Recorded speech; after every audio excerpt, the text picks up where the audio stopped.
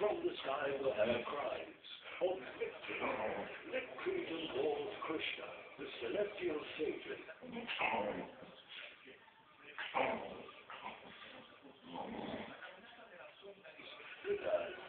governesses range out